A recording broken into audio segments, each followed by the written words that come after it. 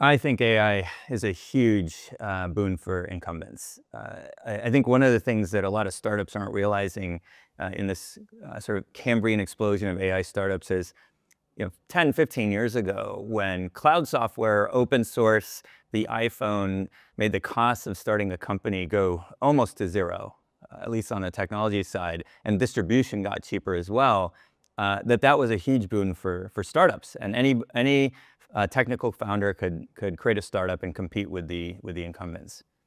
Everybody believes that thesis is now true with this tectonic shift to AI, but I actually think AI benefits the incumbents and not the startups because AI now takes the incumbent system of records and all the enterprise solutions that exist and make them that much better, uh, where the AI startups don't have the, the system of record and the databases that these incumbents do. And I think you're going to start to see a lot of these incumbents lock out startups by repeating what they did but now with massive uh, scale and massive data.